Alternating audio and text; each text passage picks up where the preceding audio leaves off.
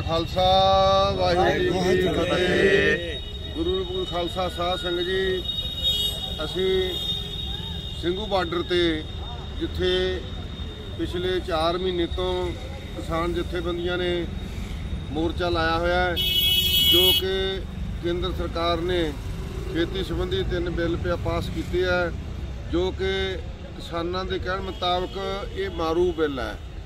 ਉਹਨਾਂ ਨੇ ਬੜੀਆਂ ਦਲੀਲਾਂ ਦੇ ਨਾਲ ਸੈਂਟਰ ਗਵਰਨਮੈਂਟ ਨੂੰ ਇਹ ਸਿੱਧ ਕੀਤਾ ਹੈ ਕਿ ਇਹਨਾਂ ਕਾਨੂੰਨਾਂ ਦੇ ਨਾਲ ਖੇਤੀ ਕਿਸਾਨੀ ਤਬਾਹ ਹੋ ਜਾਵੇਗੀ।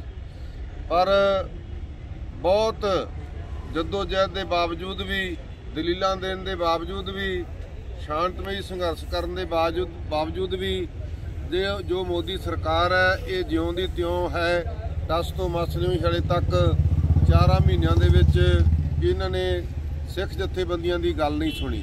ਹੁਣ ਕੇਵਲ ਪੰਜਾਬ ਦੇ ਸਿੱਖ ਨਹੀਂ, ਕਿਸਾਨ ਨਹੀਂ, ਪੂਰੇ ਭਾਰਤ ਦੇ ਕਿਸਾਨ ਹੈ। ਨਾਲ ਨਾਲ ਹੋਰ ਵੀ ਜਥੇਬੰਦੀਆਂ, ਵਪਾਰੀ, ਮਜ਼ਦੂਰ, ਮੁਲਾਜ਼ਮ, ਵਕੀਲ ਇਤਾਦਕ ਹੋਰ ਜਿੰਨੇ ਟੀਚਰ, ਪ੍ਰੋਫੈਸਰ, ਪ੍ਰਿੰਸੀਪਲ, ਤਾਂ ਨਾਲ ਧਾਰਮਿਕ ਜਥੇਬੰਦੀਆਂ। ਅੱਜ ਇੱਥੇ ਅਸੀਂ ਖੜੇ ਆ ਇਹ ਬਹੁਤ ਹੀ ਸਤਿਕਾਰਯੋਗ ਬਾਬਾ ਮਾਨ ਸਿੰਘ ਜੀ ਮੜੀਆਂ ਵਾਲੇ। ਜਿਨ੍ਹਾਂ ਦੇ ਜਥੇਦਾਰ ਬਾਬਾ ਵਿਆਮ ਸਿੰਘ ਜੀ ਇੱਥੇ ਦਲ ਪੰਥ ਦੇ ਸਹਿਤ ਉਦੋਂ ਤੋਂ ਹੀ ਡਟੇ ਹੋਏ ਨੇ, ਜਿਨ੍ਹਾਂ ਨੇ ਘੋੜਿਆਂ ਸਮੇਤ, ਸਿੰਘਾਂ ਸਮੇਤ ਇੱਥੇ ਪਹਿਰੇ ਲਾਏ ਹੋਏ ਨੇ, ਉਦੋਂ ਦੇ ਡਟੇ ਆ।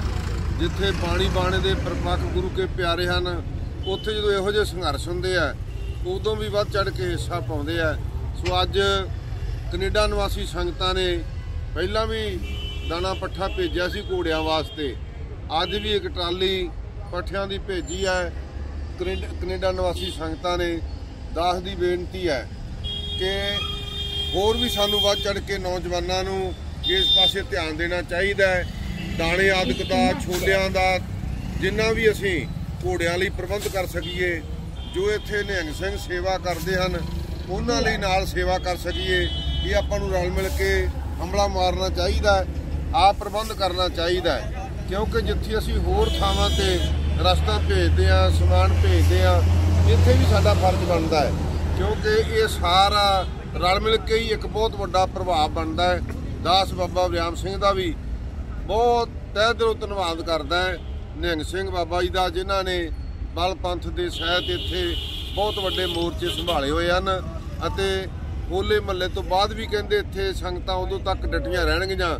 ਜਦੋਂ ਤੱਕ ਇਹ ਮੋਰਚਾ ਫਤਿਹ ਨਹੀਂ ਹੋ ਜਾਂਦਾ ਸੋ ਇਸ ਵਾਸਤੇ ਸਾਨੂੰ ਸਭ ਨੂੰ ਰਲ ਮਿਲ ਕੇ ਇਹ ਸੇਵਾ ਕਰਨੀ ਚਾਹੀਦੀ ਹੈ ਕੈ- ਕੈਨੇਡਾ ਨਿਵਾਸੀ ਸੰਗਤਾਂ ਦਾ ਦਾਸ ਬਹੁਤ ਧੰਨਵਾਦ ਕਰਦਾ ਜਿਨ੍ਹਾਂ ਨੇ ਵਿਸ਼ੇਸ਼ ਤੌਰ ਤੇ ਇਸ ਪਾਸੇ ਧਿਆਨ ਦਿੱਤਾ ਹੈ ਸੇਵਾ ਵਿੱਚ ਹਿੱਸਾ ਪਾਇਆ ਸਤਿਗੁਰੂ ਪਾਤਸ਼ਾਹ ਉਹਨਾਂ ਦੀ ਸੇਵਾ ਸਫਲੀ ਕਰਨ ਸਾਰੀਆਂ ਸੰਗਤਾਂ ਦਾ ਧੰਨਵਾਦ ਵਾਹਿਗੁਰੂ ਜੀ ਕਾ ਖਾਲਸਾ ਵਾਹਿਗੁਰੂ ਜੀ ਕਾ